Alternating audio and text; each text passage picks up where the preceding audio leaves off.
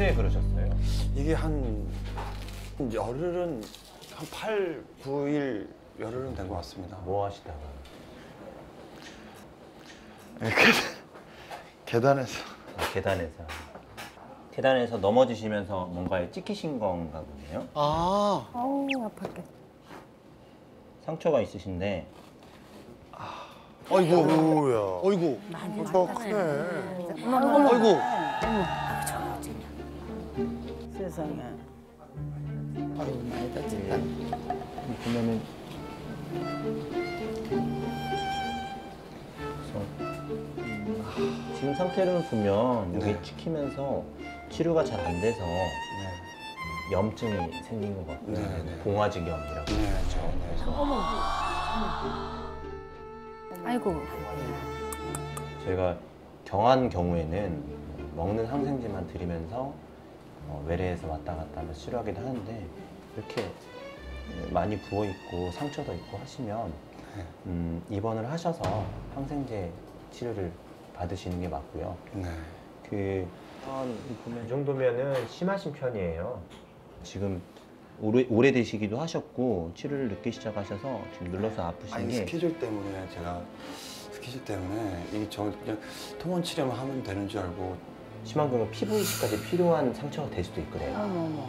그래서 일단 어. 검사는 아이고. 제가 말씀드렸던 검사는 네. 진행을 하시는 게 좋겠고요. 네, 처음에 근데 이렇게 안 부었는데 네.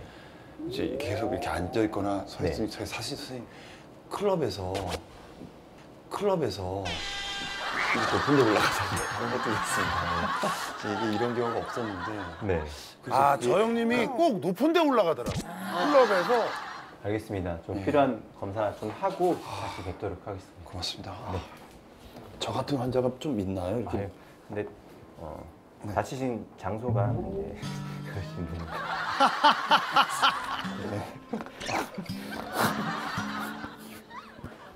제가 얼마 안 남아서 열심히 놀다 보니까 열심히 놀죠. 감사합니다. 네? 거리다가 뭔 가 찍으셨잖아요. 상암동에서. 어, 어떻게 아세요? 네? 그때 같이 예? 어? 아니 그러니까 나 그 수건거리에 여기 찍혔을 때 그때 같이 계시던 분이에요? 클럽 때문에 다쳤을 때 그때 간호사분. 아, 그때 수건거리 찍혔을 때. 아. 아유. 수건거리에다 찍히는 경우가 있나요 이렇게 저처럼? 제가 왜 저러는지 몰라. 일로 오- 옮기신 거예요? 근데 왜 나를 또 맡으신 거예요?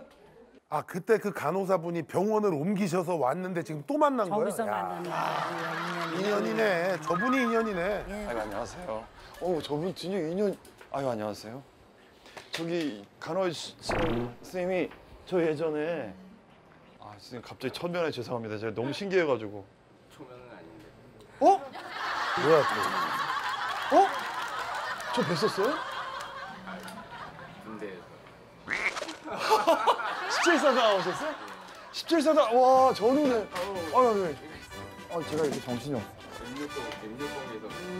시트콤이에요. 계속 아는 사람이 나와. 와 훈련병 전우야. 야 오늘 나 반가운 사람들 다 만나네. 나, 우와. 나 이번에 있으면 가끔 내려올게요.